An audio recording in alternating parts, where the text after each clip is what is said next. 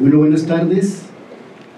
Les damos la bienvenida a los que están presentes, los que nos vean por el canal de YouTube de Ibero Pueblo Oficial y pues bienvenidas a nuestras ponentes, conversadoras en esta mesa eh, que eh, van a dialogar con nosotros sobre la reforma laboral, sindicalismo y participación de las mujeres, combatiendo la violencia de género. Es una mesa muy bonita de puras mujeres combativas, luchadoras, defensoras de los derechos humanos laborales, pues sean bienvenidas a, esta su casa, la Universidad Iberoamericana de Puebla. Pues vamos a, comenzar nuestra mesa, les presentaré brevemente quiénes están aquí con nosotros. Eh, está eh, eh, Rosario Ortiz Magallón, ella es socióloga, egresada de la Facultad de Ciencias Políticas y Sociales de la UNAM, con una eh, amplia carrera en, en, el sindicalismo, como, militante, como este, dirigente sindical, también fue diputada y ha sido también asesora en la Diputación y eh, con muchos eh, muchos eh, cargos dentro del mundo sindical. Fue fundadora e integrante de la coordinadora colegiada de la Red de Mujeres Sindicalistas, presidenta de la Coalición por Justicia de las Maquiladoras, consejera del Consejo Consultivo del Instituto de las Mujeres del Distrito Federal y integrante de la mesa directiva del Instituto de Estudios Rafael Galván desde 2013. Entonces, tiene una amplia trayectoria, no leeré todas sus enlaces, no nos va a llevar acá mucho tiempo, pero eh, Rosario este, pues, es eh, una mujer, como les decía, defensora de los derechos humanos con una amplia carrera en el mundo eh, sindical. Tenemos también entre nosotros a Rita Marcela Robles Benítez, ella es abogada, licenciada en Derecho por la Universidad Nacional Autónoma de México, y también estudió la licenciatura en Ciencias Políticas y Administración Pública en la misma universidad y una maestría en Defensa y Promoción de los Derechos Humanos en la Universidad Autónoma de Ciudad de México. Igual es también eh, una defensora de los derechos humanos laborales con una eh, gran trayectoria. Eh, ha impartido diversos cursos y diplomados en temas de derechos humanos laborales en el área de educación continua en la Universidad Iberoamericana Ciudad de México y ha participado en diversos foros y seminarios sobre derechos humanos, derechos humanos laborales y derechos de las personas migrantes y refugiadas y política migratoria y ha realizado diversos artículos e investigaciones, entre los que resaltan derechos laborales para la población migrante en México, para la red de mujeres sindicalistas. O ella también tiene una amplia trayectoria como defensora de los derechos humanos laborales. También tenemos a Rosalba Calva Flores con, con nosotros. Eh, ella también tiene una amplia carrera en el mundo laboral, sindical, es coordinadora nacional del Frente Auténtico del Trabajo.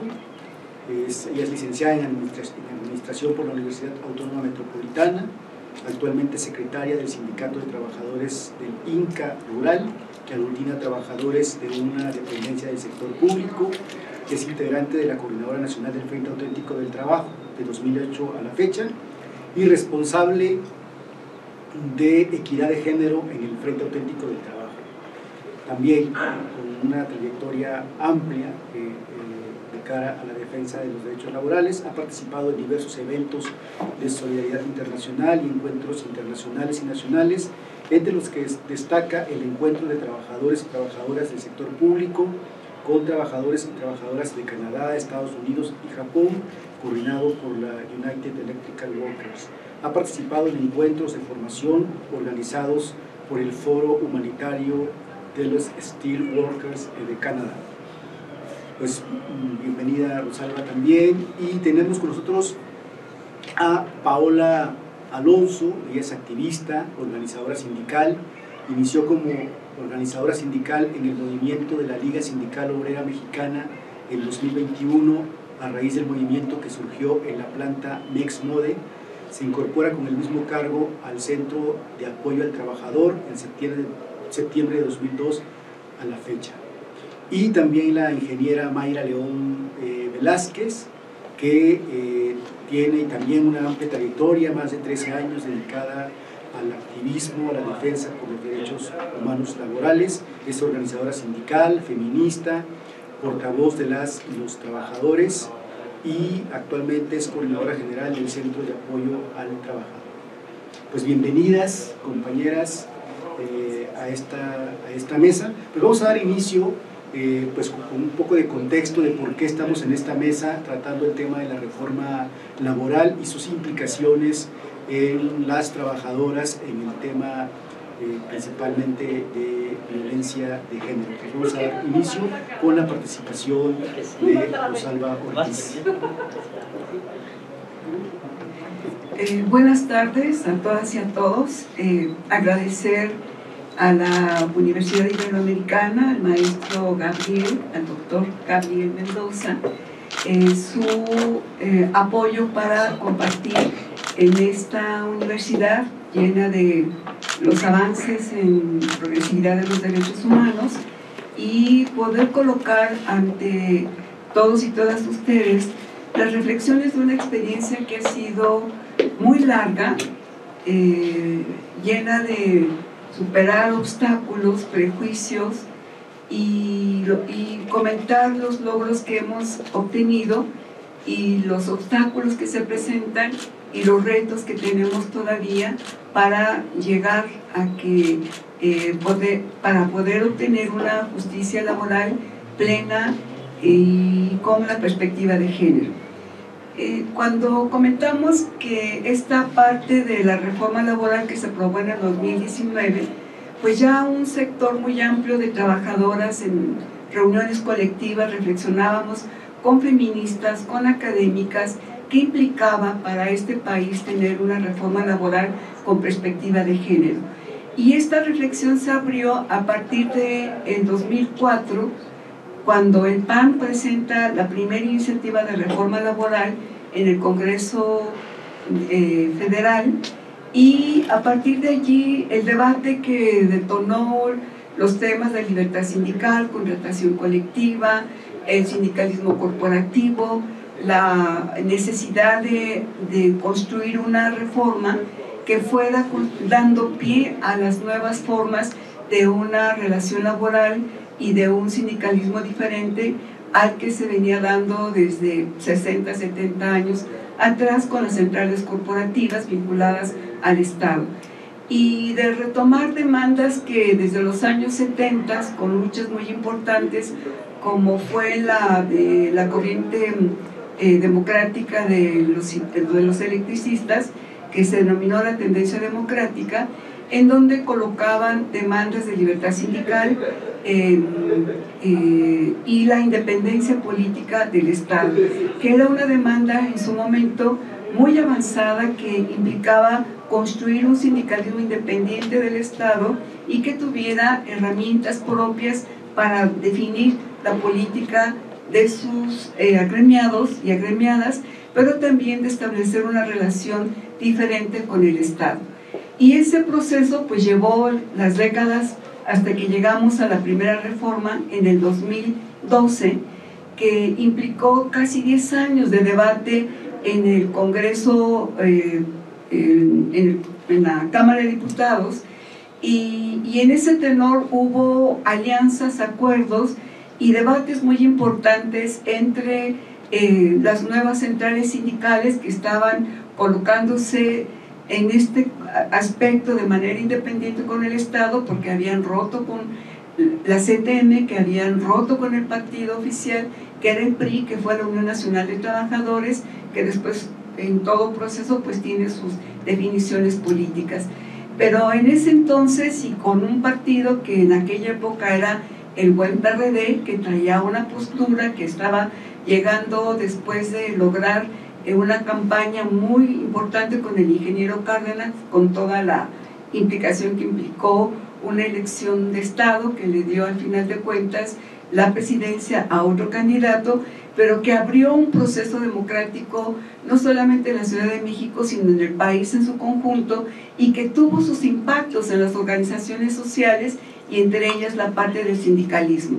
Y ese proceso llevó a que la propuesta que el PAN colocó en el 2004 abriera una reflexión general en el mundo del trabajo, cuando menos en los sectores que estaban construyendo una mirada independiente y autónoma del Estado para colocar una propuesta de reforma laboral que eh, comenzara a construir una relación diferente, porque desde aquella época se identificaban eh, contratos de protección patronal que después se hizo una campaña muy intensa en contra de los contratos de protección patronal, un modelo laboral que se vino construyendo e imponiendo desde los patrones del Estado de Nuevo León y que en sus prácticas, que siempre han sido muy corporativas y no democráticas para el mundo laboral, pues detonó en que estas prácticas fueron no solamente corriendo, eh, recorrieron al país, sino que también empezó a exportarse ese mismo modelo para América Latina.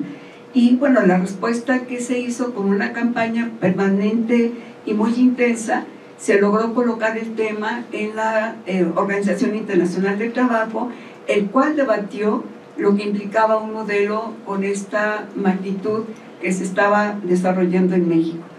Y bueno, la reforma que al final se aprobó en el año 2012, después de cerca de 8 o 10 años de debate, eh, logró incorporar o logramos incorporar los primeros elementos de la perspectiva de género, porque en aquel momento hubo un grupo de compañeras eh, sindicalistas, feministas académicas, que construimos el grupo que elaboró la primera propuesta de reforma eh, laboral con perspectiva de género y que tuvimos que entrar a negociar, a discutir con los espacios masculinos del derecho y en aquel momento logramos incorporar eh, la definición de trabajo digno, que no estaba colocado en la reforma laboral, no estaba en la ley federal del trabajo, y lo colocamos como el trabajo digno decente, que fue el programa que la OIT en aquel momento tenía como uno y tiene como uno de sus ejes centrales.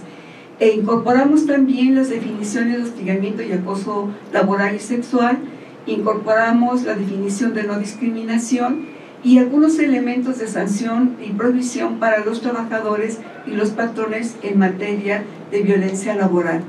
Esa primera reforma pues fue los primeros inicios que abrieron el debate en el mundo del trabajo sobre el tema de la violencia laboral, la discriminación y eh, los aspectos de los sesgos, de los estereotipos que han regido el mundo del trabajo. Posteriormente se viene todavía otro proceso de, discutir el tema de la, de la situación laboral cuando se presenta el debate de revisar el Telecan, el Tratado de Libre Comercio, que se firmó cuando estaba en la presidencia Carlos Salinas de Gortari en el 94, que fue detenido con un impacto muy fuerte por el levantamiento zapatista que reivindicaba los derechos de la población indígena y que se contrapuso a un discurso del presidente de, de, ese momento en donde colocaban que el acuerdo comercial firmado entre Canadá y Estados Unidos era la entrada de México al primer mundo. Ese fue el discurso, la narrativa que llevó eh, la firma de ese primer acuerdo comercial y que se vino a cambiar cuando Donald Trump llega a la presidencia en Estados Unidos y que cuestiona un, un acuerdo comercial que desde su punto de vista era un dumping a, los salarios de las y los trabajadores en Estados Unidos y nos ponían los trabajadores en México como los responsables, como los responsables de hacer una política de de, desigual en el mundo del trabajo. Entonces el problema no era que era la política de las grandes empresas corporativas eh, de Estados Unidos que habían optado a partir del Telecan de cambiar las reglas de juego en sus países, Canadá y Estados Unidos, y mover las inversiones para México y después se fueron a países de Centroamérica y terminaron migrando hacia el Asia porque era donde estaban las condiciones laborables más favorables para ellos porque eran salarios muy reducidos, eh, no había organización sindical fuerte y en la parte de las legislaciones laborales pues eran muy débiles para poder regular una, una movilidad del capital eh, para las grandes ganancias y que los trabajadores éramos la venta de los gobiernos donde promovían la inversión para los países porque había pocos salarios, bajos salarios, había una flexibilidad en la eh, regulación laboral y porque los gobiernos ofrecían infraestructura casi gratuita. Entonces, ese fue el tenor de la reforma, de la discusión que se abre a partir de que Donald Trump llega y cuestiona la parte del el Telecán y mete en una dinámica a los gobiernos, bueno, de Estados Unidos porque él era el presidente, pero de Canadá, a un eh, cambio de un acuerdo comercial que no se tenía eh, discutido previamente y que tuvo que entrarse a negociar por México y Canadá en una dinámica en donde pues, las condiciones, eh, digamos, de desventaja de ambos países estaban colocados en un acuerdo comercial que no eh, era una discusión previa tripartita o trinacional como estaba establecido. Al final se acuerda en todo esto cambios en, en las reglas del juego de los diferentes sectores eh, que participan en el acuerdo comercial, pero se logra algo que no estuvo en el Telecan, que es eh, el capítulo laboral. El capítulo 23 habla de los derechos laborales como un elemento para nivelar las desigualdades salariales existentes entre los países que conformaban el acuerdo. Y en esa lógica es que en México entramos nuevamente a discutir qué reforma laboral se requería para poder colocar a México en condiciones de mejores eh, condiciones e igualdad para eh, regular salarios, para tener eh, condiciones laborales que fueran rompiendo los sistemas del control sindical corporativo y poder abrir una nueva, un nuevo proceso en México de em, reflexionar qué tipo de política laboral se requiere en este país y qué implicaba o qué implica una reforma como la que se fue construyendo y al final se aprobó en mayo del 2019. En este proceso, nuevamente, las compañeras em, organizadas en los sindicatos que estamos laborando y trabajando desde hace mucho tiempo los temas de los derechos de las trabajadoras, volvimos nuevamente a buscar los espacios de cabildeo con propuestas de qué queríamos reformar en la ley laboral que estaba en debate para su posible reforma. Y ahí fue donde nuevamente tuvimos que confrontar visiones em, de estereotipos, de miradas em, que no permitían que pudiéramos colocar propuestas que estábamos ubicando en la, en la perspectiva de la igualdad sustantiva, de erradicar las prácticas de discriminación y de violencia en el mundo del trabajo. De tal manera que la, la incursión que hicimos en todas estas mesas de discusión, de debate, pues remontando muchos prejuicios y obstáculos que se dieron en el debate político, pues nos daban las, las, eh, eh, las herramientas para poder construir una perspectiva y una narrativa diferente. Em, fue un trabajo muy intenso, pero al final logramos colocar un número importante de artículos que hoy nos permiten tener una reforma laboral con mayores elementos eh, que incorporan derechos de las trabajadoras, así como su representación en las instancias de dirección.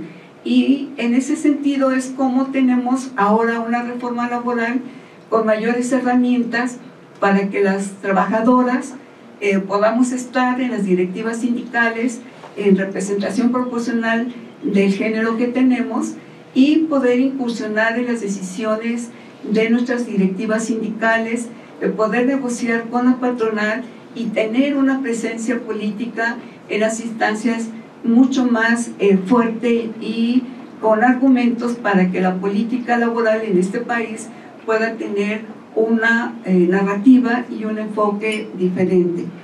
Y bueno, tenemos ahora una serie de herramientas eh, jurídicas muy importantes que armonizadas con la reforma del, artículo primero, donde se incorporan los derechos humanos laborales, y eh, armonizada con la Ley Federal del Trabajo, y dos convenios que logramos em, eh, impulsar en la Ciudad de México, bueno, en el país, a través de las conferencias internacionales del trabajo de la OIT, cuando se discutieron el convenio 189 que habla de los derechos de las trabajadoras del hogar y posteriormente el convenio 190 que se ratificó hace un año en México y que apenas este año en junio entró en vigor ya porque se mandó el oficio por parte del gobierno mexicano en donde este convenio está ratificado y dentro de un año el gobierno tiene que presentar ya su primer informe.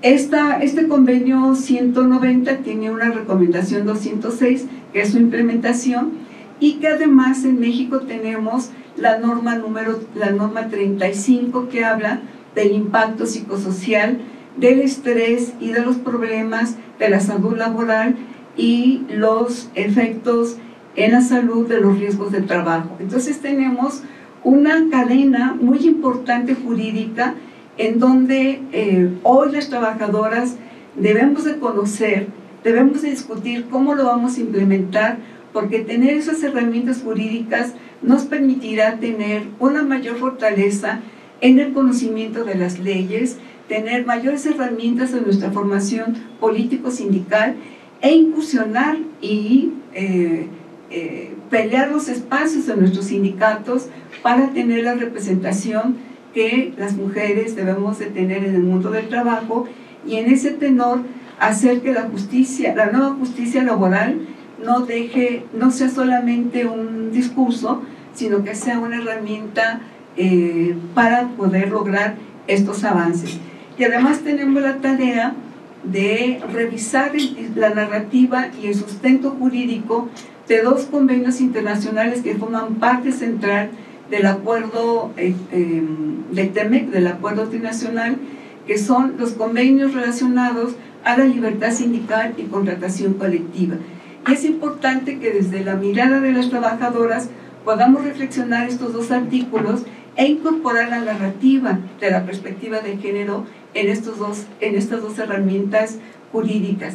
Porque hasta ahora la narrativa es eh, desde una perspectiva muy masculina y pareciera ser que la libertad sindical y la contratación colectiva es hablar de un mundo laboral masculinizado y no reconocer que las mujeres está, estamos cada vez más presentes en el sector laboral pero no tenemos la representación y el reconocimiento de la aportación que nosotras hacemos.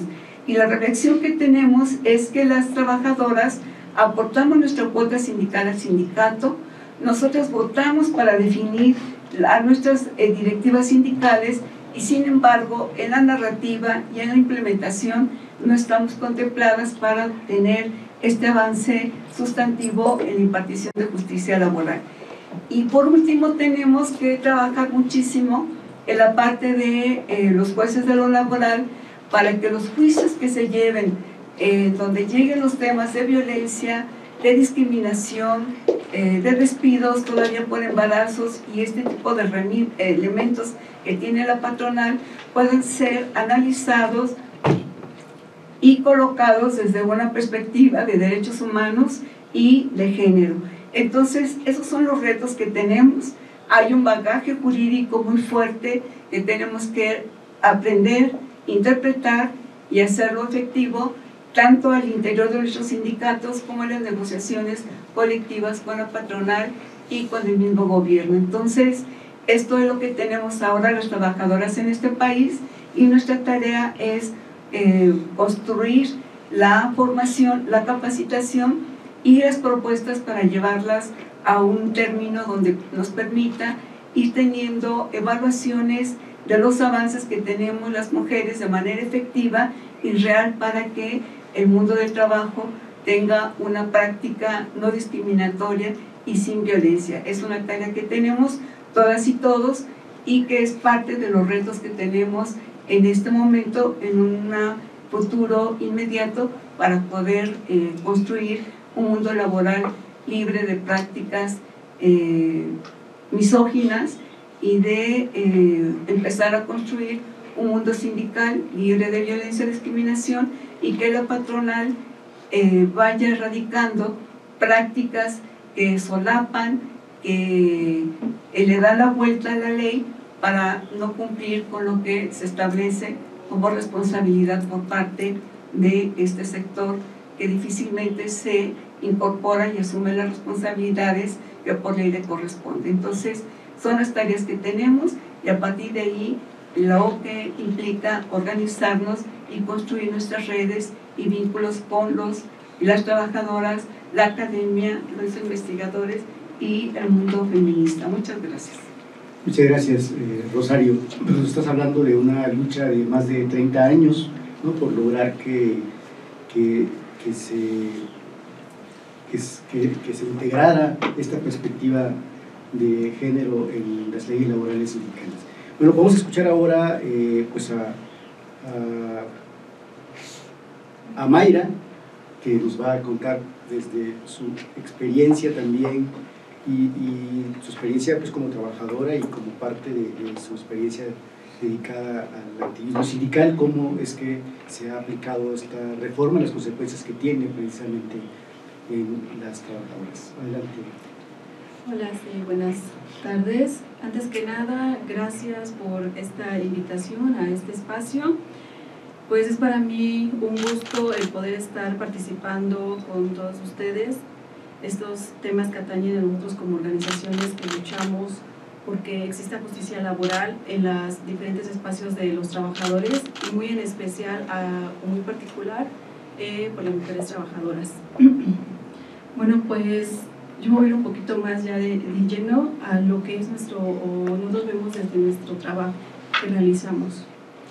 Pues con respecto a lo que es la, la, reforma laboral, como bien sabemos que en el mundo del trabajo está atravesando por un proceso de transformación derivado a lo que es la implementación de un nuevo modelo laboral, el mismo que se basa en tres pilares importantes, que son la justicia, la libertad sindical y la negociación colectiva, la democracia en el mundo del trabajo.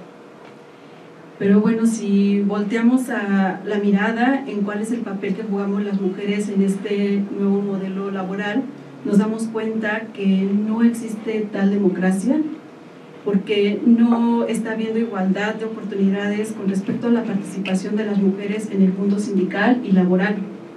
Seguimos siendo obstaculizadas, minimizadas y excluidas. La voz de las mujeres sigue siendo silenciada tenemos que entender y hacer conciencia y hacer un llamado de atención a las organizaciones sindicales y a la sociedad, que sin mujeres con voz y voto en los sindicatos y en el mundo laboral no existirá democracia, ya que es importante que las negociaciones colectivas sean las mismas mujeres quienes participen en la creación, en la negociación de los contratos colectivos con, con perspectiva de género. De no ser así, los sindicatos seguirán siendo una simulación más. En el Centro de Apoyo al Trabajador, y tenemos claro que el papel de las mujeres en los sindicatos juega un rol muy importante.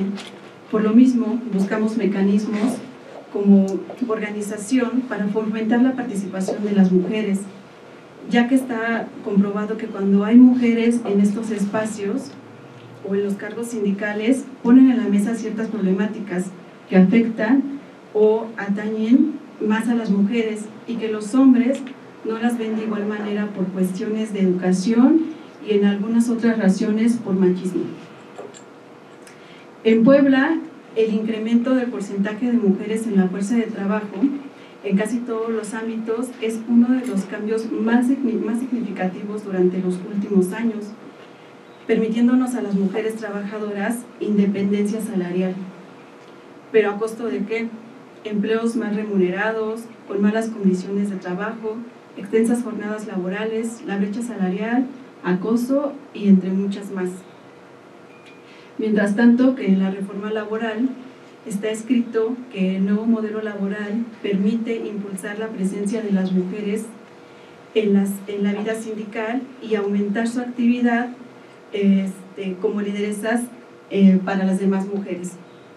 La realidad no está presente, es otro escenario totalmente diferente. No existe como tal, vuelvo a repetir, democracia sindical. Y bueno, le quisiera dar la palabra a mi compañera Paola para que explique un poquito más sobre el contexto que nosotros estamos eh, viviendo, viendo más bien eh, desde nuestra base de trabajo. Gracias. Gracias, Mira. Adelante, Paola. Hola, ¿qué tal? Buenas tardes. Eh, antes que nada, gracias por la invitación a este foro. Como bien lo mencionan, yo soy activista y soy organizadora sindical. Eh, mi trabajo me ha permitido interactuar cara a cara con las trabajadoras, conocer su entorno familiar y laboral. Por lo mismo, me gustaría compartir con ustedes cuál es mi perspectiva eh, desde las vivencias de la voz de las mujeres trabajadoras en Puebla y en el ámbito sindical. Al visitar a las trabajadoras en sus domicilios, me he podido percatar que desde su hogar existen varios impedimentos para que la mujer pueda involucrarse de manera activa en el sindicalismo. Y les voy a platicar tres casos que están documentados de lo que nos ha pasado en el campo laboral. Visitamos a una trabajadora que tenía la intención de organizarse y al llegar a su casa pues nos encontramos con la primera negativa. ¿Cuál fue? Su esposo. Eh, el marido nos dijo que no quería que visitáramos a su esposa, que la siguiéramos hostigando supuestamente. Nos dijo que no quería que su esposa estuviera de chismosa. Este, y por lo tanto, eh, pues la esposa nos dijo que ya no la visitáramos, que no quería saber sobre sus derechos laborales. A pesar de que sabía que se estaban violando sus derechos, ella ya no quiso continuar porque su esposo no se lo permitía. En el segundo ejemplo que les voy a dar, estábamos en campaña, estuvimos visitando a varias compañeras para poderles dar capacitar, para poderlas capacitar y de 10 compañeras solamente asistía una. Al, al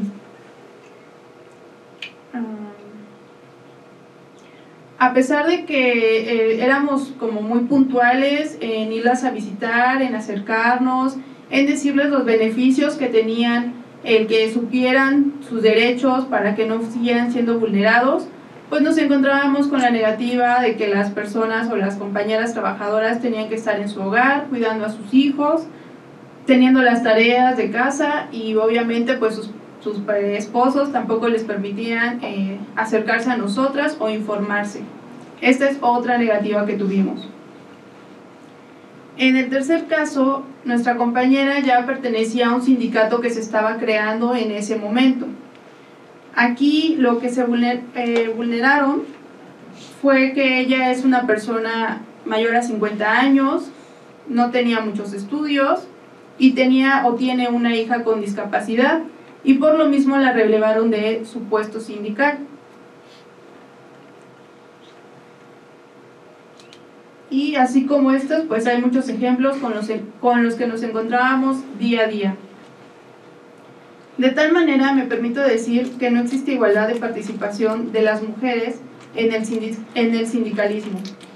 La incorporación de las mujeres no ha sido siempre en línea progresiva, ascendente, y es lamentable que cuando somos necesarias para llenar el requisito, entonces sí nos llaman, pero ya una vez que está llenado el requisito, entonces se olvidan de nosotras y nos hacen a un lado de igual forma, no volvemos a tener voz ni voto. Aún así, hay muchas mujeres que precisamente por eso quieren levantar la voz, unir fuerzas y hacer un cambio. Que la paridad sindical no sea solo un escrito, sino que sea una realidad. Las mujeres tenemos el potencial para eso y mucho más. Las mujeres en el sindicato no vamos a ejercer el papel de la mujer calladita detrás de un hombre vamos a hacer valer nuestra, voz, nuestro voz, nuestra voz, nuestro... Mm, y vamos a ejercer nuestro derecho. Muchas gracias. Muchas gracias, Paola. Paola.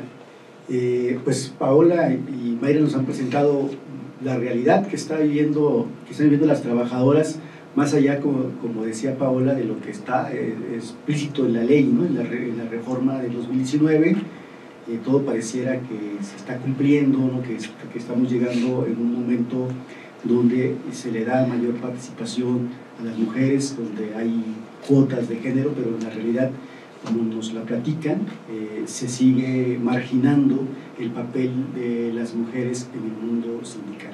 Pues para seguir ahondando sobre esto, vamos a invitar a, Rosalba Calva, que también eh, nos comente desde su perspectiva. Eh, gracias. Muchas gracias por, esta invitación a este foro tan, tan importante, este conversatorio. Gracias a, todas y a todos por la oportunidad de estar aquí con mujeres tan luchadoras, tan importantes en el mundo sindical. Y em, pues ya Rosario nos ha puesto sobre la mesa todos los antecedentes que ha tenido esta reforma laboral que se concreta el 1 de mayo de 2019 y Mayra y Paola nos han hablado de una realidad que eh, realmente contrasta ¿no? con un poco con un poco mucho más bien con lo que dice eh, la ley. Y yo quisiera puntualizar un poco el tema de eh, cómo ha avanzado esta reforma en igualdad de, de oportunidades para hombres y mujeres. Y em, quisiera poner el dedo en la llaga sobre algunos conceptos que son muy importantes y que tenemos que estudiarlos un poco para comprender por qué se da esta desigualdad entre hombres y mujeres. Eh, mm, Paola y Mayra nos han hablado de esta realidad en Puebla, pero no dista mucho de la realidad que existe en muchas de las localidades en nuestro país y en las grandes ciudades también. O sea, realmente el mundo del trabajo en México es muy complejo y viene de un sistema corrupto, de un sistema de simulación de muchísimos años. Entonces, este nuevo modelo es todo un reto, tanto para autoridades como para trabajadores y trabajadoras, ¿verdad?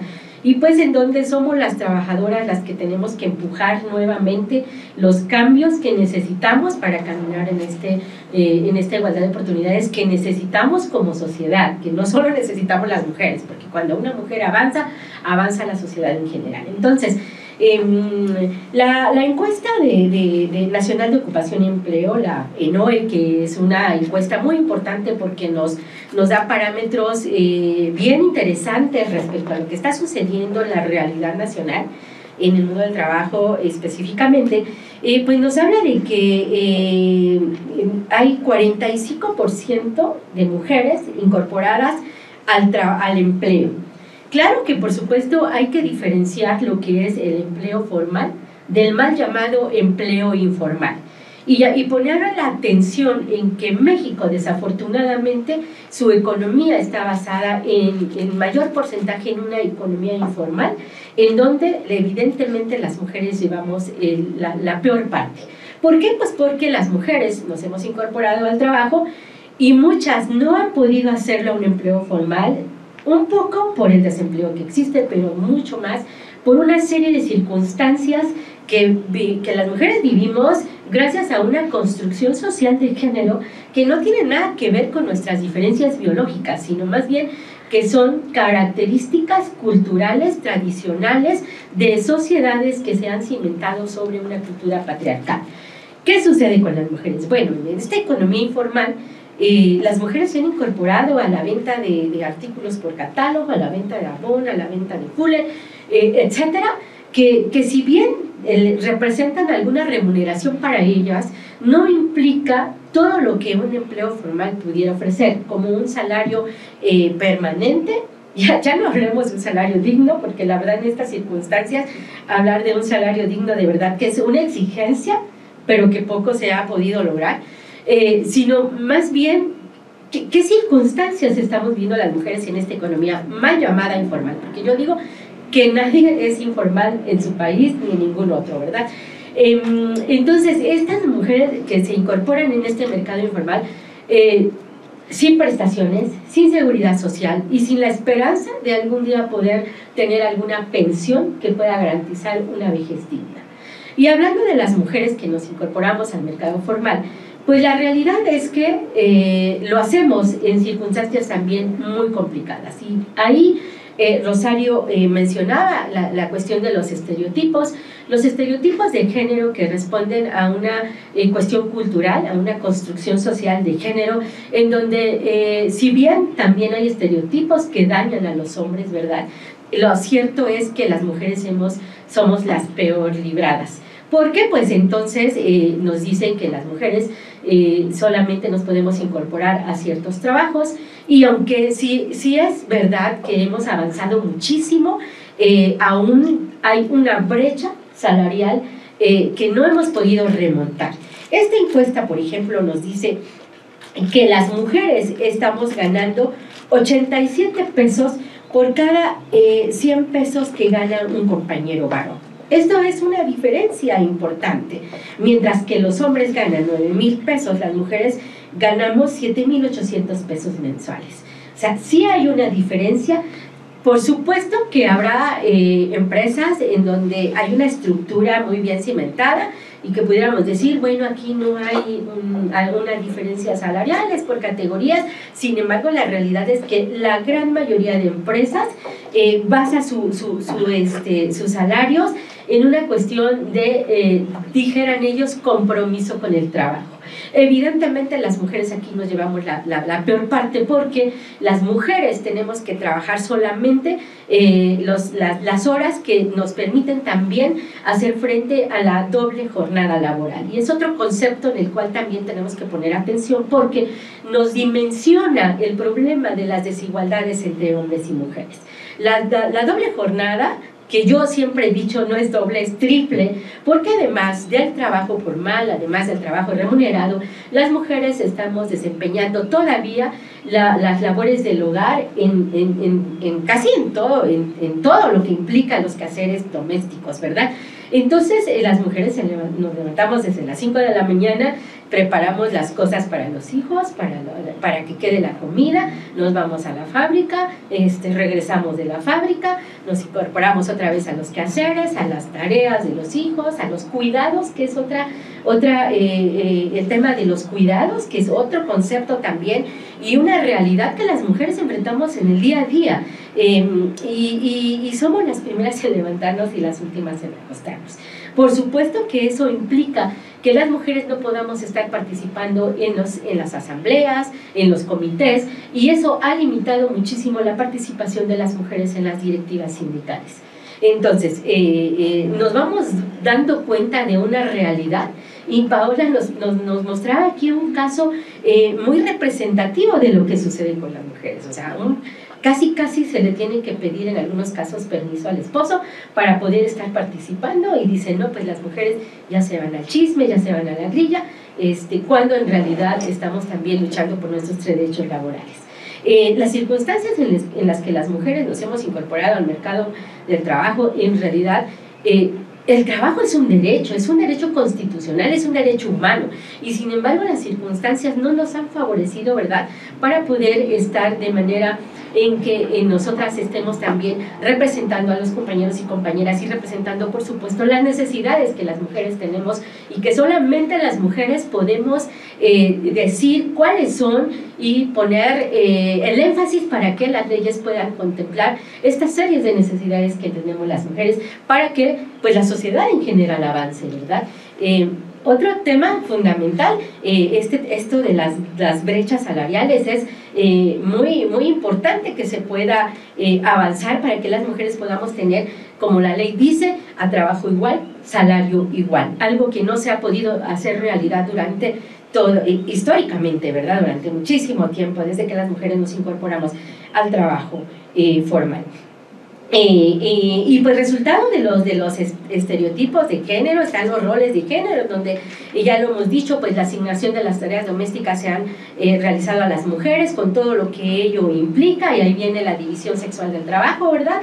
En donde también pues las mujeres dicen, pues bueno, tú Em, eres mujer, entonces pues te toca lavar los trastes, te toca hacer la comida, te toca la serie de responsabilidades domésticas en donde las mujeres aportamos muchísimo al hogar en un trabajo que ha sido totalmente invisibilizado y por lo tanto cuando lo relacionamos con el trabajo de las compañeras trabajadoras del hogar, pues es por eso que eh, podemos comprender por qué son tan maltratadas, tan discriminadas y con salarios tan precarios. ¿Por qué? Porque pues es un trabajo invisibilizado y, y, lo podemos ver cuando pasa una encuestadora a una casa, toca y dice, señora, usted trabaja y, cuando se, se es solamente ama de casa, dice, no, no trabajo, soy ama de casa. O sea, desconociendo a veces desde, desde una misma este trabajo que es tan importante, que aporta tanto al hogar, pero que más allá de eso también aporta a la economía del país. Eh, y, es un trabajo tan invisibilizado y, y entonces estas dificultades que enfrentamos las mujeres, pues evidentemente no nos dejan, no nos permiten participar en los, en los comités ejecutivos, en las directivas sindicales y, y, por supuesto que cuando la ley, en la ley se habla de proporcionalidad de género, es un avance importante. Ahora las directivas, pues ya no, ya no es que quieran que las mujeres estemos presentes, es que es una obligación de que, de que en cada elección se realice eh, con base en la proporcionalidad de género. Pero para, para, hacer realidad este avance, las mujeres tenemos que tener las condiciones para poder participar. La verdad es que eh, mm, me cuesta reconocerlo, pero esa es una realidad. O sea, los sindicatos también han sido un tema de hombres los comités ejecutivos generalmente han estado integrados por hombres. Por supuesto que eso conlleva una serie de circunstancias que no favorecen ni siquiera el tema de, las, eh, eh, de compartir las responsabilidades familiares, porque no se han creado cláusulas en los contratos colectivos en donde se pueda, pueda eh, abonar a que los compañeros varones puedan también disfrutar del nacimiento de un hijo, de compartir esta responsabilidad, que no se habla de ayuda, se habla de responsabilidades familiares, ¿verdad? Em, se dice muchas veces que las mujeres no queremos participar en las asambleas, que no nos, nos, importa, que preferimos salir corriendo para nuestras casas, pero se ignora toda esta serie de circunstancias en las que las mujeres hemos estado sumidas históricamente. Eh, por supuesto también que cuando está una mujer al frente de un comité ejecutivo hay grandes diferencias en cómo se negocia y en cómo se lleva la representación de los compañeros y las compañeras. Es bien importante que las mujeres estemos en las directivas sindicales, es bien importante que se abran los espacios, que se den las condiciones para que eh, las mujeres podamos participar más y podamos estar presentes y podamos ser elegidas. Y más importante es que las mujeres que lleguemos a los comités ejecutivos lleguemos preparadas, lleguemos preparadas para poder enfrentar la serie de circunstancias que vienen prevaleciendo en los centros de trabajo, pero además para hacer realidad la igualdad de oportunidades entre hombres y mujeres, esta igualdad sustantiva que necesitamos las mujeres para que eh, veamos realmente reflejadas nuestras necesidades.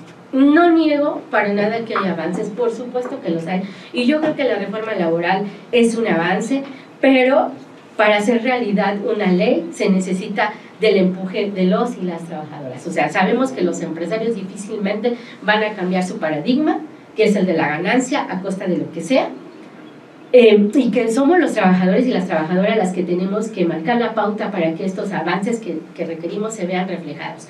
Se vean reflejados en la realidad, aún en un mundo tan complejo, aún en, en una situación tan precaria como la que vivimos en nuestro país, el hacer realidad la igualdad de género es muy importante y es trascendental para si verdaderamente queremos abonar para la, a la transformación de una sociedad, una sociedad incluyente, una sociedad en donde podamos decir que tenemos igualdad de oportunidades y una sociedad en donde sabemos que si avanza una mujer, avanza la sociedad. Muchas gracias. Muchas gracias, Rosalba. Pues tocas un tema muy importante de que no basta con que esté eh, prescrito en la ley, sino que hay que crear o poner, construir las condiciones que hagan necesaria la participación de las mujeres. Entonces hace falta no solo un cambio legal, sino también un cambio cultural, ¿no? de, cultura laboral que incluya esta perspectiva eh, de género.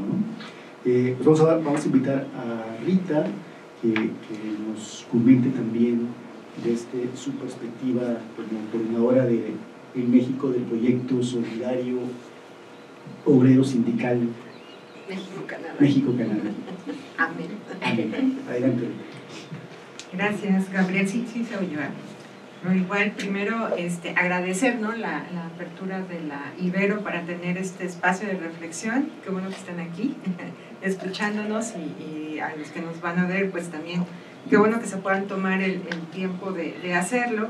Agradecer también el poder compartir la mesa con mis compañeras pues, de muchos años y hablando pues de estos temas que pareciera que eh, no pierden su importancia, ¿verdad? Y que hay que estarlos eh, repitiendo y repitiendo constantemente porque se nos olvida luego que también tenemos que hablar de los derechos de las trabajadoras, ¿no?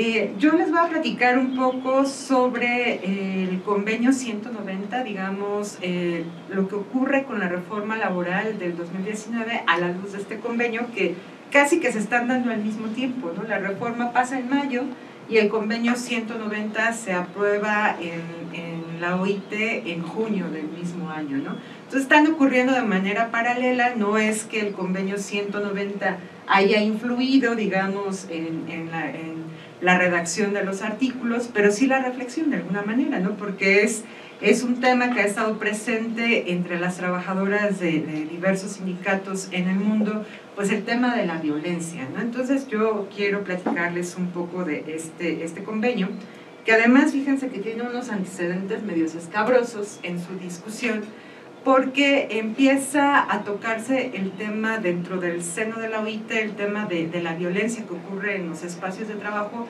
entre el 2007 y 2011 más o menos, cuando se empiezan a presentar una serie de suicidios en algunas empresas de Francia, y bueno, se van documentando otra serie de suicidios en Japón, ¿no? Bueno, Japón suma un número interminable de personas trabajadoras que se han suicidado debido al acoso laboral de que han sido víctimas, a las sobrecargas de trabajo, en fin, ¿no? Por ahí hay algunas cifras de que en el 2016 la cifra de suicidios se dispara, y pues son más de, de 100 millones de personas las que terminan en condiciones este, de, de, este tipo debido a la violencia que viven en sus centros de trabajo. ¿no? Nosotros como país tampoco estamos exentos de, de eso, también hay personas que se han suicidado, aunque los datos, digamos, no son tan claros de, cómo influyó el ambiente laboral para que tomaran esa decisión, ¿no? Pero bueno, eso es, esa es una parte de la reflexión que lleva a la adopción del convenio 190. La otra, por supuesto, es todo el debate que las mujeres sindicalistas han llevado a través de los informes que se van presentando a la OIT sobre lo que ellas están viviendo u otras mujeres están viviendo en sus centros de trabajo a través del acoso sexual, del hostigamiento sexual, que es otra, otra cara también de la violencia laboral que se vive. ¿no?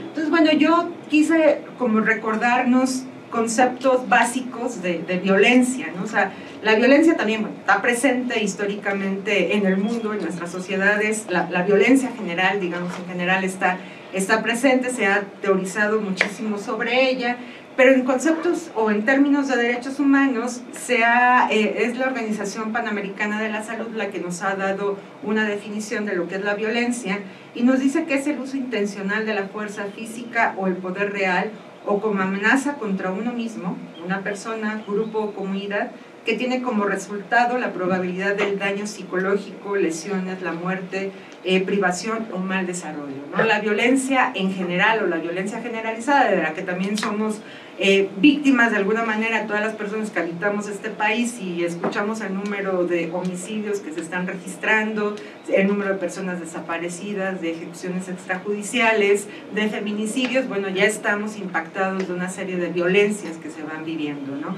Entonces, bueno, tiene, tiene este, impactos en nuestra salud eh, física, en nuestra salud psicológica, en nuestra capacidad este, de relacionarnos, incluso en, nuestras, en las posibilidades de salir libremente a ocupar un espacio público, porque pues si estás en un mal lugar, tal vez en Jalisco, tal vez en Tamaulipas, tal vez en Michoacán, pues te toque un operativo en donde el narco y otros grupos criminales pues pueden disparar accidentalmente sobre ti. Entonces, bueno, estamos expuestos a eso como sociedad, ¿no?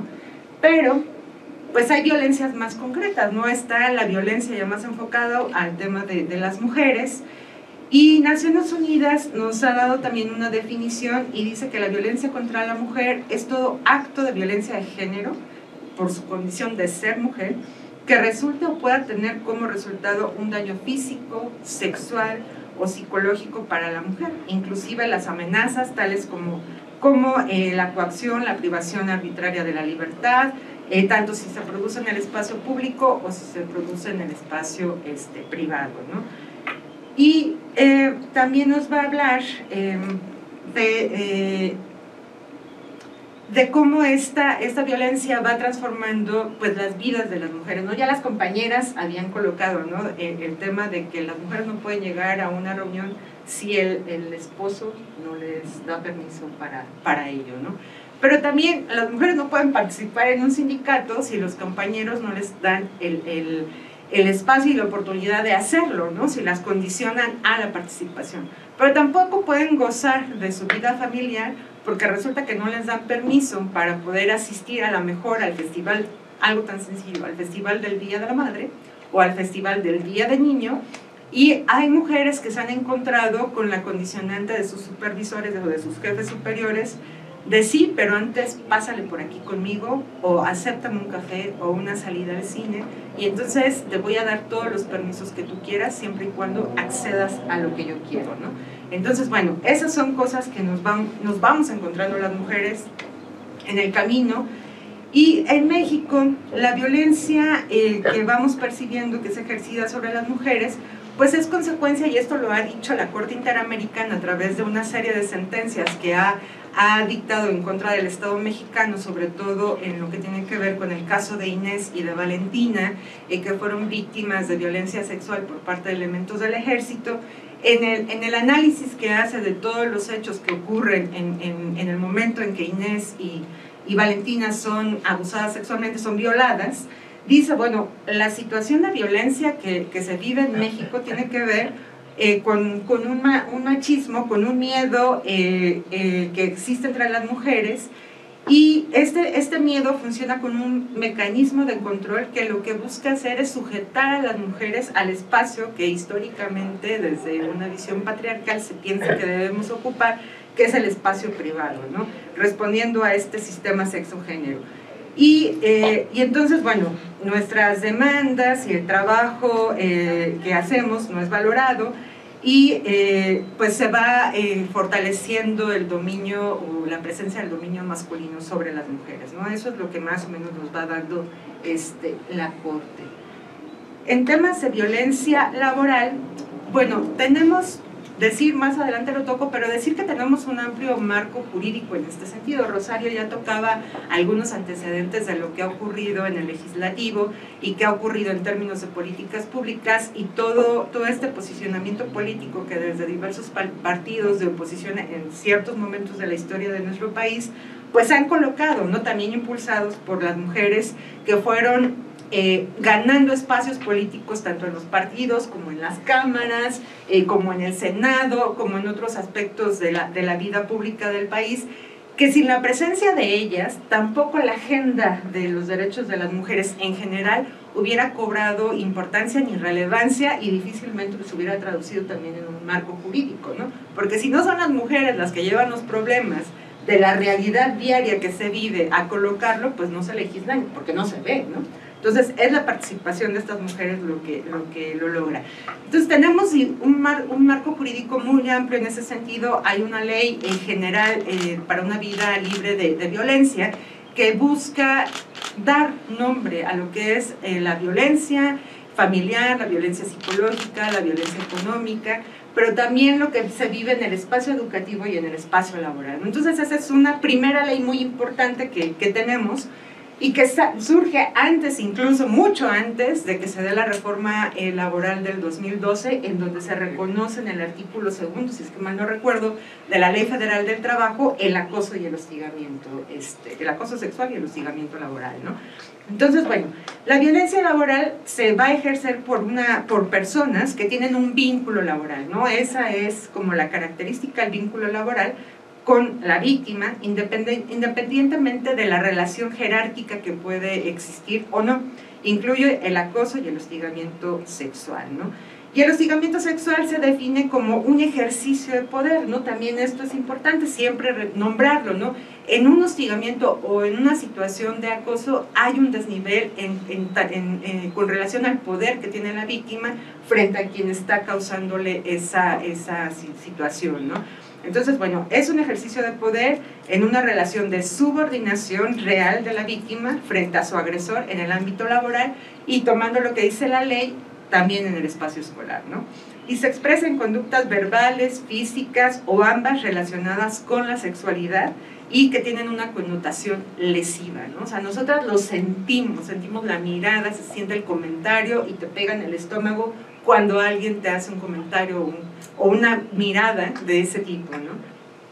Y bueno, de acuerdo a la Comisión Interamericana, la violencia sexual se configura con acciones de naturaleza sexual que se cometen contra una persona sin su consentimiento, que además de comprender la invasión física del cuerpo humano, puede incluir algunos actos que no involucren penetración o incluso contacto físico alguno. ¿no?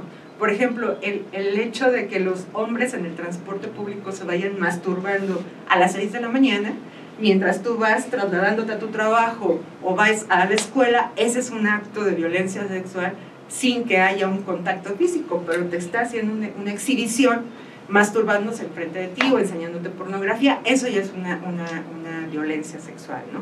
Entonces, bueno, decir eso. Y se ha documentado desde el INEGI en la encuesta nacional sobre la dinámica de las relaciones del hogar que sale en el, en el 2021, pues cómo han vivido las mujeres esta dinámica de la violencia, ¿no? Así sumado a las estadísticas que nos da esta Rosalba, bueno, pues decir que en esta encuesta que, se aplica entre el 2020 y el 2021, 40 millones de mujeres de entre 15, 15 años y más que han trabajado a lo largo de su vida, más o menos es el 79.3% del total de las mujeres, pues resulta que eh, 27.9 experimentaron algún tipo de violencia este, en su vida laboral, ¿no? 18.1 dice que presentó o vivió discriminación laboral, 14.4 dice violencia sexual, 12.2 violencia psicológica y 1.9 vivió violencia física, ¿no? Eso es lo que, lo que voy reportando. Acá yo les pongo un poco las gráficas para que podamos ver este, cómo, cómo se ha vivido ya en porcentaje ahí plasmado en una gráfica este tipo de violencias, ¿no? Y bueno, eh, también esta, esta encuesta nos dice que las entidades federativas, porque claro, también depende de dónde estés, es el tipo de violencia que vas a vivir, hay entidades en donde se vive más y yo creo que ahí no tenemos ninguna duda de que Chihuahua es la entidad federativa que más violencia tiene en contra de las mujeres, con 37.8%. Le sigue la Ciudad de México y después sigue Baja California, ¿no? Y las entidades con menor porcentaje de violencia son Oaxaca, pero bueno, 21.9 tampoco es tan poquito, Guerrero con 21.9 también, Zacatecas y Chiapas, ¿no? Esas son las entidades que menos y las que más, Chihuahua, Ciudad de México y Baja California. Además, bueno, pues también ubicar que en Chihuahua están los grandes centros de maquila, es una, una maquila totalmente feminizada, es el, el, estado en Ciudad Juárez, en, en, en, su municipio, donde, sea, donde comenzamos con los problemas de feminicidio. Entonces, bueno, se entiende un poco por qué también Chihuahua está ocupando ese lugar. ¿no? Y ya entrando como el marco jurídico, antes de entrar al convenio 190, y díganme cuánto tiempo llevo, por favor. Ya casi. ok, ya casi, ya casi, perdón. Entrada al marco jurídico sí. nacional para prevenir y atender la violencia de género en contra de las mujeres.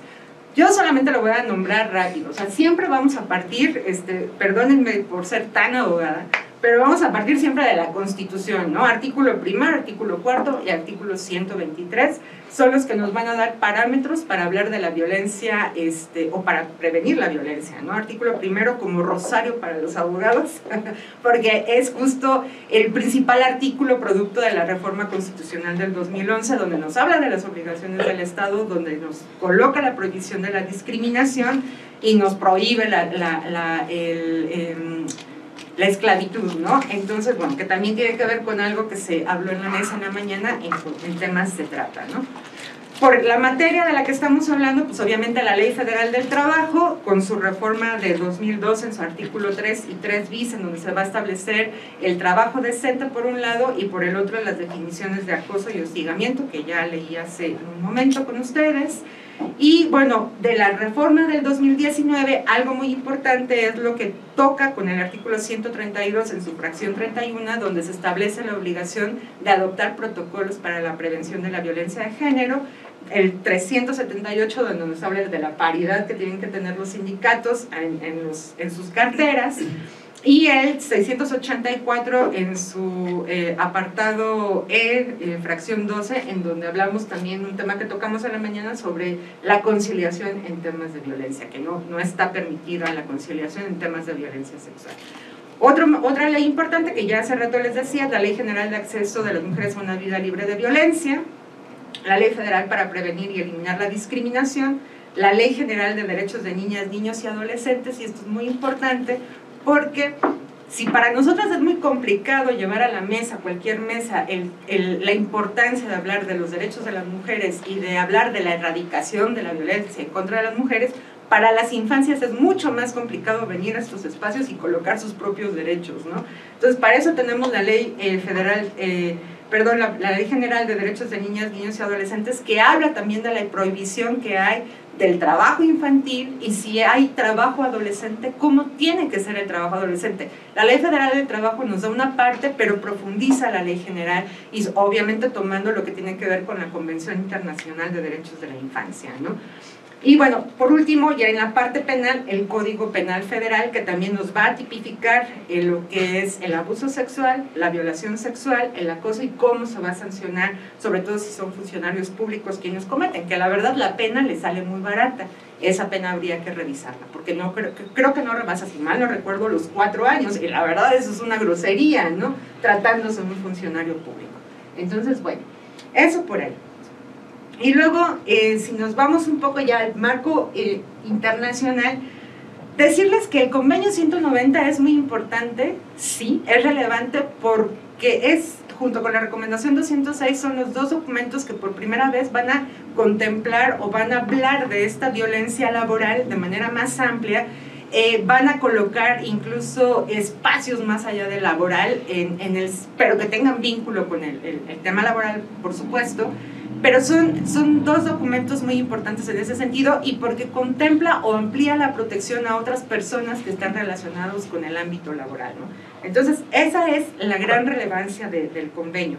Pero no podemos leerlo de manera aislada sin considerar estas otras normas internacionales que yo les estoy poniendo, tanto del sistema universal como del sistema interamericano, que igual es un rosario, pero eh, yo creo que por el tiempo que me queda, sí hablar de la Convención de la Eliminación de todas las formas de discriminación contra la mujer, que es un documento que habla sobre la discriminación de las mujeres en el empleo, en su artículo 11, ¿no? Es importante leerlo en conjunto. El Pacto Internacional de Derechos Económicos, Sociales y Culturales, que nos habla de qué es el derecho al trabajo y todo lo que deriva de él, ¿no?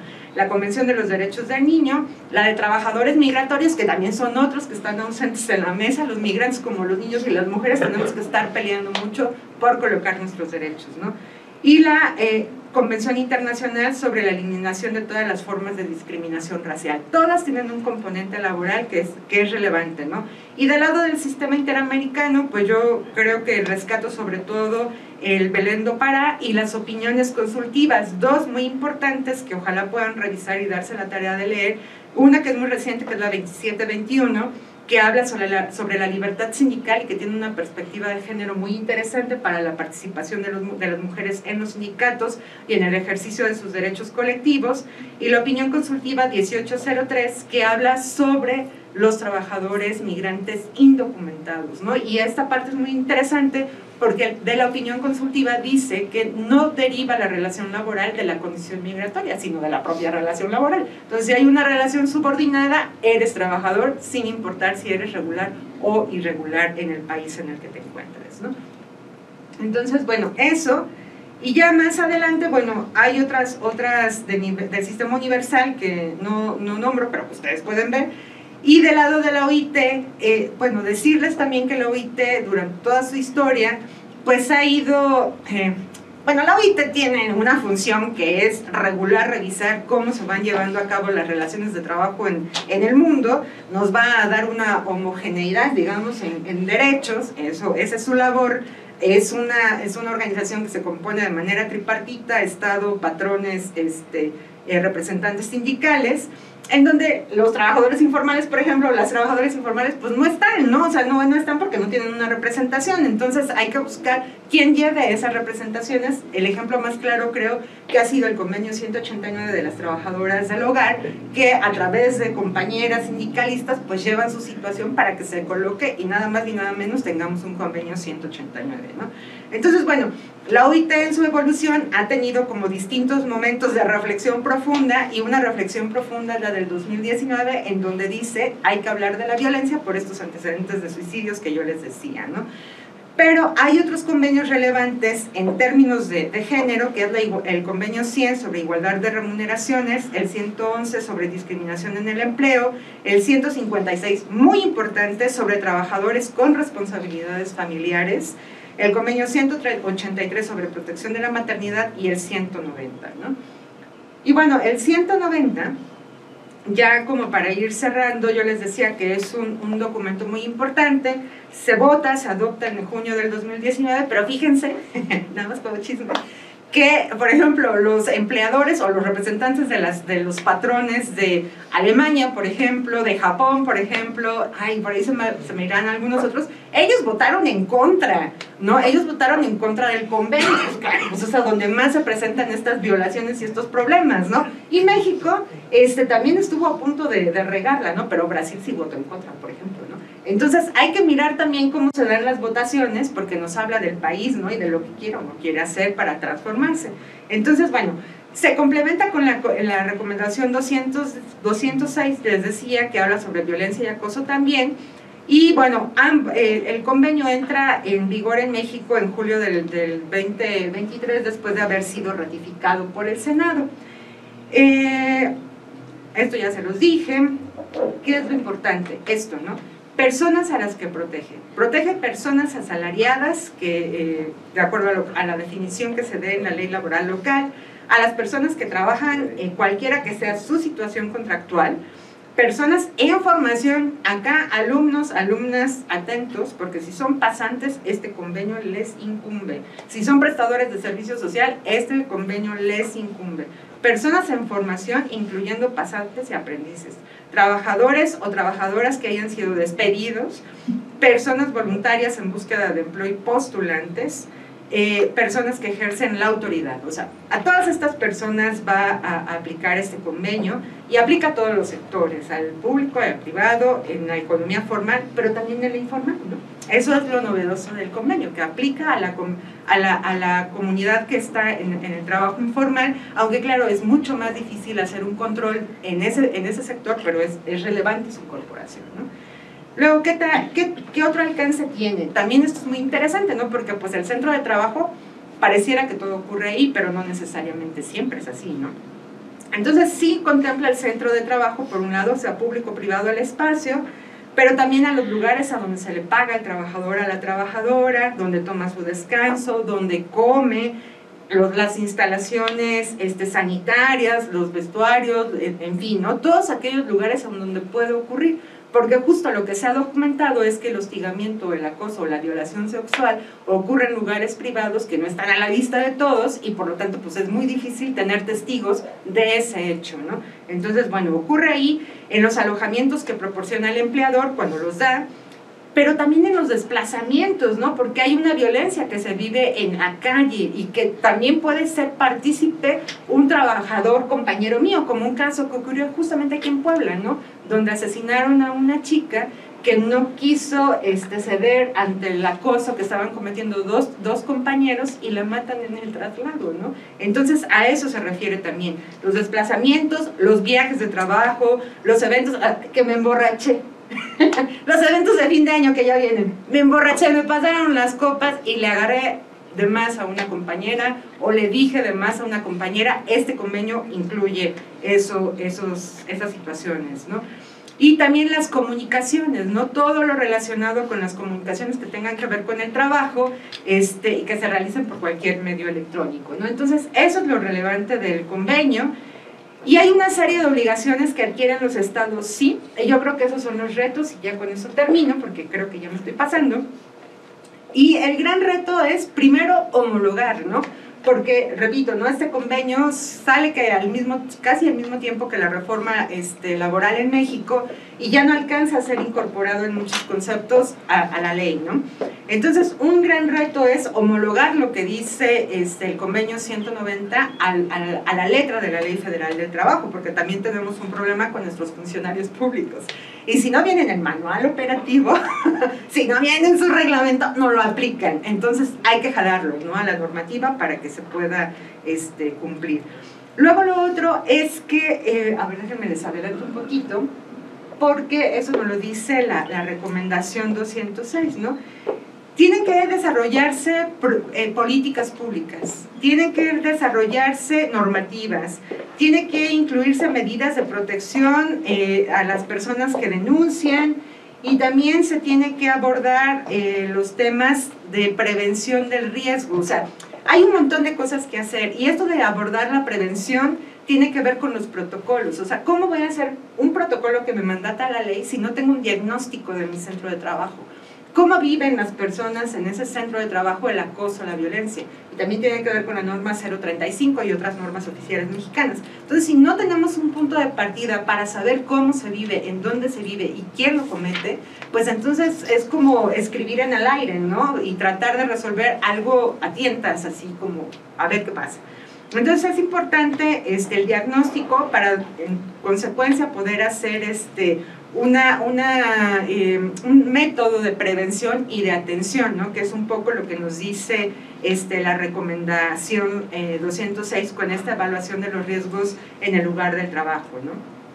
Y eh, también lo que nos dice es que los inspectores de trabajo tienen que incorporar en su labor esta mirada, ¿no? o sea, tanto la mirada de género como la la, eh, tener las habilidades y los conocimientos desarrollados para poder identificar violencias en los, en los centros de trabajo. Ahora, hace rato platicando, antes de, empezar esta charla con ustedes, platicando con mis compañeras, les decía que en el, la inspección del trabajo, la Secretaría del Trabajo, dijo que iba a modificar el, reglamento de inspección del trabajo, ¿no? Hubo una modificación por ahí, pero tenía que ver con los tiempos del cumplimiento ¿no? de, eh, de, las recomendaciones que hace el inspector para mejorar y evitar eh, accidentes de trabajo. Pero si ustedes buscan, en ningún lado viene violencia de género, en ningún lugar se habla de las mujeres, en ningún lado se habla de, de eso, ¿no? Entonces un gran reto de la inspección del trabajo, además de contratar a más inspectores y de darle más presupuesto, es incorporar dentro de su quehacer esta mirada, ¿no? Cómo identifican los inspectores que se está cometiendo un, tema de violencia este, laboral y en dónde, ¿no? Y qué tipo de sanciones van a dar, y qué tipo de prevenciones, y cuánto tiempo, y si no cumplen, qué es lo que va a pasar con esa empresa, ¿no? Y yo creo que una de las primeras cosas que tendría que revisar en todo caso la inspección es ver que sí se tengan los protocolos de prevención, ¿no? Entonces, bueno, eso, eso no está. Y, eh, y, bueno, también mandata, dice la recomendación, que lo ideal es que se mandate a los organismos nacionales responsables de, esta inspección para que este, se abarque la cuestión de violencia y el acoso en el mundo del trabajo. ¿no? Entonces, bueno, decirles rápidamente también que revisando eh, el, último informe de gobierno de, de, esta actual administración, pues yo pude observar así a ojo de, de, de pájaro que, abuelo de pájaro, que sí se han hecho muchas acciones, ¿no? Rosalba hace rato creo que nos, nos platicabas, o no sé si fue en la charla previa, pero que se ha capacitado a la administración pública. O sea, sí hay mucha capacitación en temas de género, de derechos de las trabajadoras, sí hay, pero el, problema que yo observo es que no se está dialogando sistemáticamente y estructuralmente entre las distintas instituciones. O sea, hay una gran labor del, Poder Judicial, de la Suprema Corte, sacando criterios, sentencias, este, dando incluso un protocolo para juzgar con perspectiva de género. Sí se tienen programas sociales de atención, pero de atención, o sea, atienden cuando ya ocurrió la violencia, pero no hay nada preventivo, ¿no?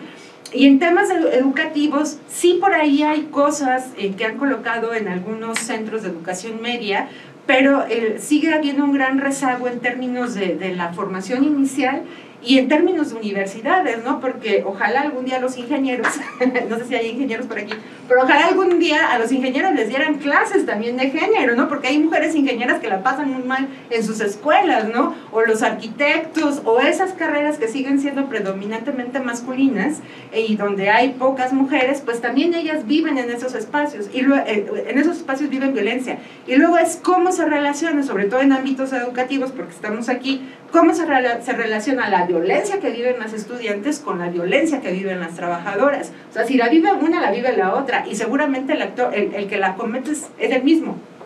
Es el mismo, ¿no? Entonces, ¿cómo se interrelaciona eso y se atiende la, la problemática de manera integral? Entonces, ese sigue siendo el gran reto.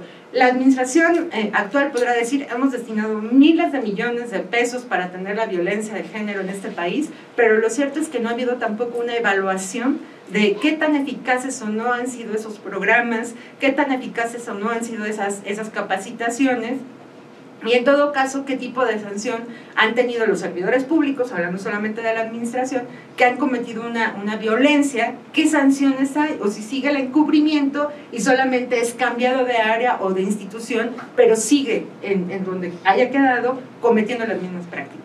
Entonces, bueno, los retos son muchos. El convenio es un gran reto, es un buen documento que nos provoca a muchas reflexiones y esto es así como muy rápido, pero leerlo y aplicarlo, eso es como lo que, lo que está por ahí. Entonces yo por ahí le dejo. Muchas gracias.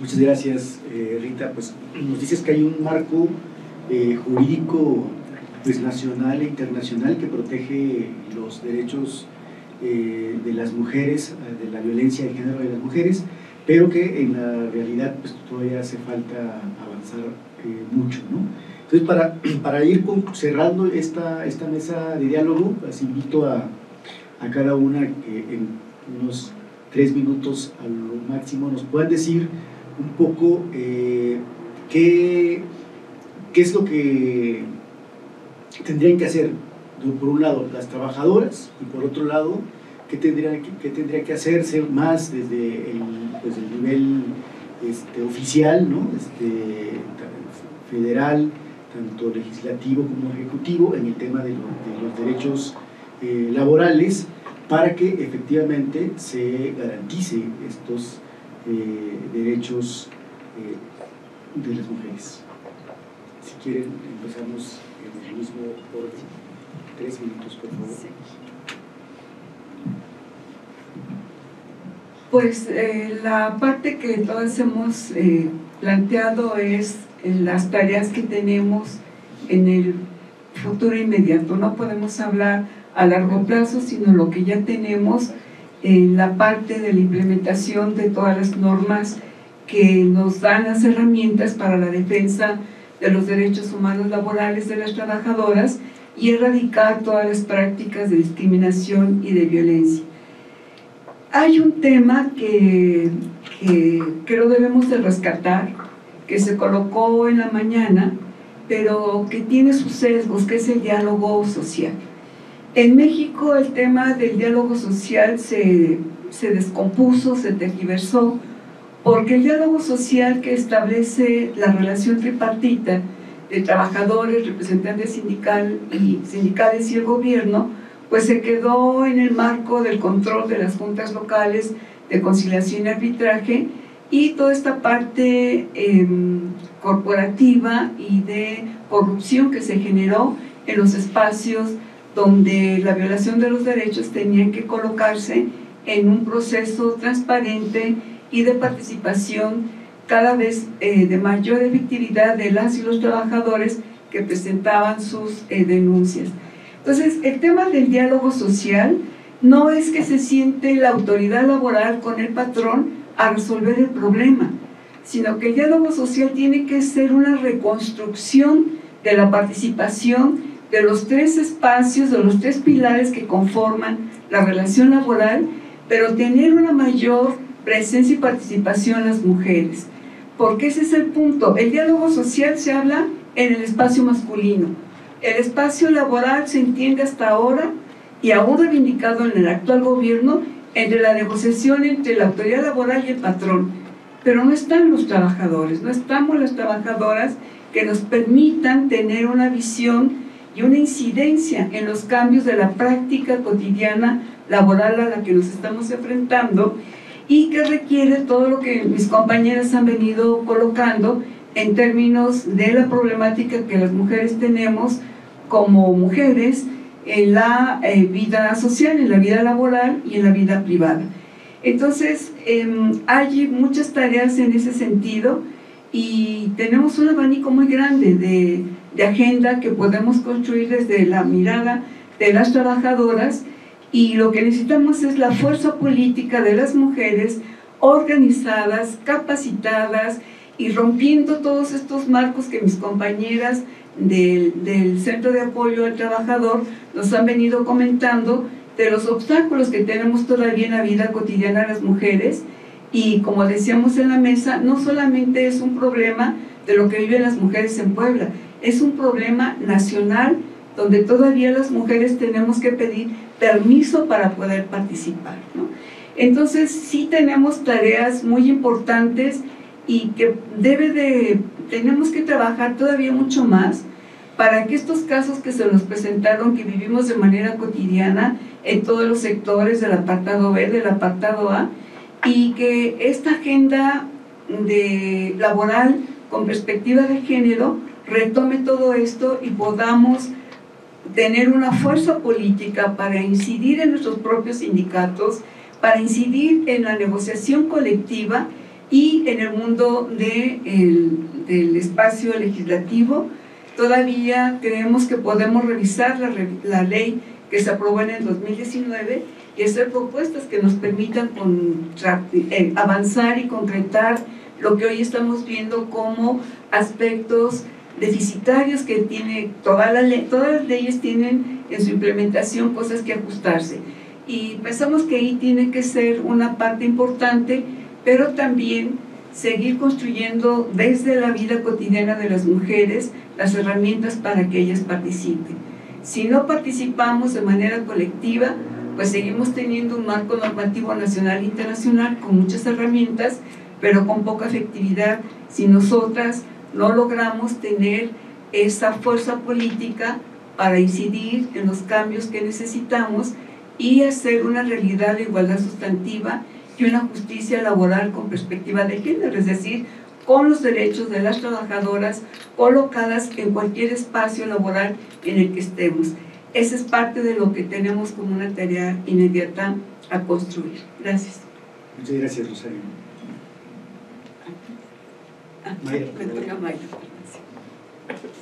Bueno, pues.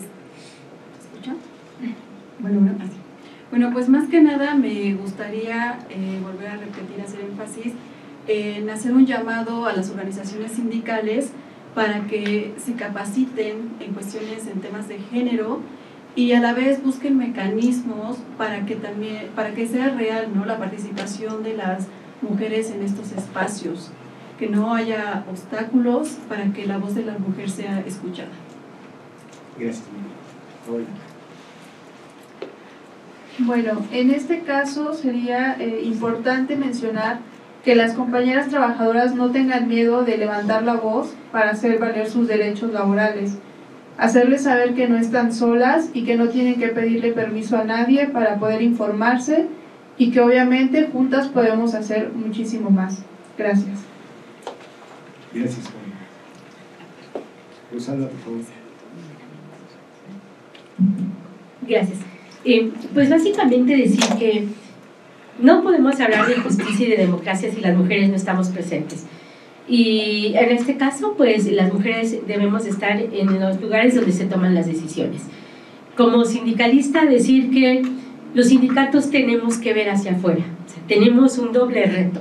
Primero, construir hacia adentro eh, para tener una organización fuerte, una organización que verdaderamente responda y defienda los derechos laborales de las y los trabajadores y hacia afuera para apoyar a otros trabajadores y trabajadoras que no tengan la posibilidad y las herramientas para poder hacer realidad la reforma laboral porque existe eh, eh, pues una plataforma, es una herramienta muy importante que nos, em, nos permite a las personas consultar los contratos colectivos, las dirigencias, los documentos de cada organización sindical, pero ah, también existe una brecha digital enorme en el país, en donde muchísimos trabajadores no tienen esta posibilidad de poder acceder eh, siquiera a una computadora.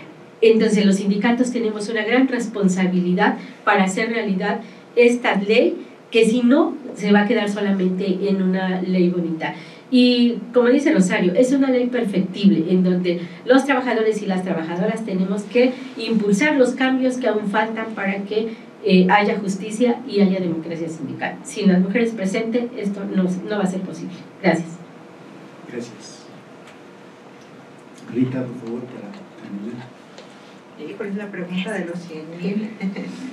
Pero bueno, yo creo que son como muchos, muchos retos, ah, sin ser sindicalista, pero un reto que veo dentro de los sindicatos y que en algún momento también lo, lo conversábamos en otro espacio, es también el cómo se investiga y se sanciona dentro del propio sindicato las violencias de género que se puedan presentar con compañeros eh, representantes sindicales en contra de las compañeras que hacen eh, parte del sindicato, sobre todo cuando ellas quieren aspirar a ocupar un cargo, ¿no? O sea, que cómo se cómo hablamos ahí de la violencia eh, política por razones de género cuando vas a entrar a una contienda con un eh, representante que ha estado años en tu sindicato, ¿no? Y tú eres la primera vez como mujer que vas. Entonces, eso también es un tema que, que, está por ahí en la mesa, toda la parte de los estatutos, ¿no? Cómo se homologan los estatutos a lo que dice la ley, ahora lo que dice este convenio también y otros, ¿no? Porque creo que ahí es un, un gran reto también dentro de los sindicatos, sin ser sindicalista, lo, lo digo, ¿no? Pero también creo que en el espacio público hay muchos retos y sociedad civil ahí, las organizaciones que hacen defensa de los derechos laborales, pues nos toca también empujar un poco con los sindicatos en el tema de incidencia para que el Estado haga difusión de esto. ¿no? una, eh, una de las principales obligaciones que tiene el Estado, este artículo primero constitucional, es hacer difusión de los derechos humanos, ¿no? y el Estado no está haciendo difusión de este tipo de derechos, ¿no? de, de todo lo que toca. Es muy, todavía muy corta las campañas que está haciendo en, en términos de prevención de violencia de género en el ámbito laboral. ¿no? Habla de, otros, de otras violencias, pero no en el ámbito laboral. Entonces creo que eso es un gran reto. Y otro gran reto es a nivel educativo, ¿no? un poco lo que, lo que decía hace ratito, ¿no? cómo llevamos estos temas a la formación, porque estamos hablando de transformaciones culturales. ¿no? La, reforma laboral transforma una cultura laboral que, que, que, tiene pues años en este, en este país, ¿no? más de 100 años podría decirse en este país. Entonces, ¿cómo transformas eso que está tan arraigado para que haya una apertura en una transformación? Pues una parte toca también a, a, la, educación, ¿no? Y ahí se habla, se, se combina con todo el tema de, de, trabajo para prevenir distintos temas de, violencia, ¿no? Pero es eso, o sea, si quieres una transformación cultural que de verdad toque, pues es desde la educación básica, todos los niveles, la difusión, en fin, entonces los retos son, son muchos en ese sentido y creo que por ahí nada más. Pues muchas gracias a cada uno de ustedes por su participación, por esta eh, pues, rica e interesante eh, reflexión. Creo que nos queda mucho, hay muchos retos para que realmente sean garantizados estos, estos derechos y que, y que esta larga eh, travesía para llegar a esta nueva reforma pues realmente dé resultados tangibles en la realidad de las trabajadoras y los trabajadores. Pues con esta eh, mesa concluimos la jornada del día de hoy, que tuvimos en la mañana eh, una reflexión con funcionarios y esta tarde con pues, mujeres eh, trabajadoras y sindicalistas, pues contando su experiencia y los retos que aún quedan para hacer que esta reforma laboral que se promueve desde el gobierno como, pues como un nuevo modelo laboral sea realmente novedoso para los trabajadores y las trabajadoras. Pues esperemos que el futuro eh, sea mejor para todos ellos, para todos nosotros los trabajadores. Muchas gracias y buenas noches.